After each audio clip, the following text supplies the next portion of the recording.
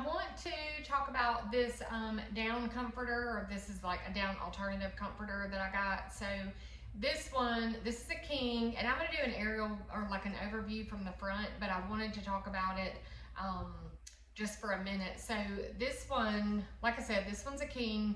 I chose the white.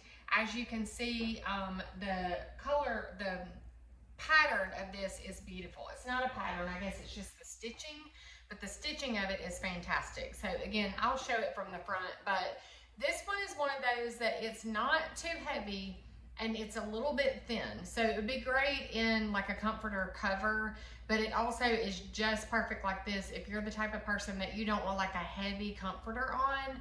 Um, if you're gonna layer and all of those things, that's okay too. This is the perfect solution for that, but this one is not too heavy. It is kind of light and airy, and I love that.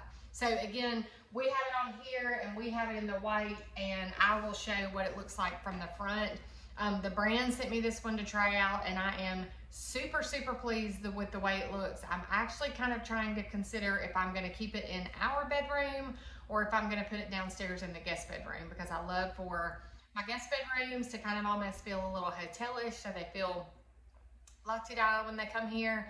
Um, so I can't decide because I really, really like this one and I think it might be good in the guest bathroom, but I really want to keep it for myself. So again, I'll show you from the front and see what you think.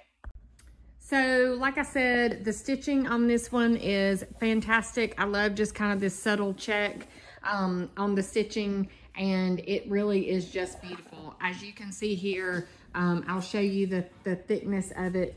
It is just kind of a low profile. It's nice and fluffy in here, but it's not super thick. It's not heavy. So it's just gonna lay really nice and soft on the bed. And um, I just personally, I just think it's beautiful. So there you go.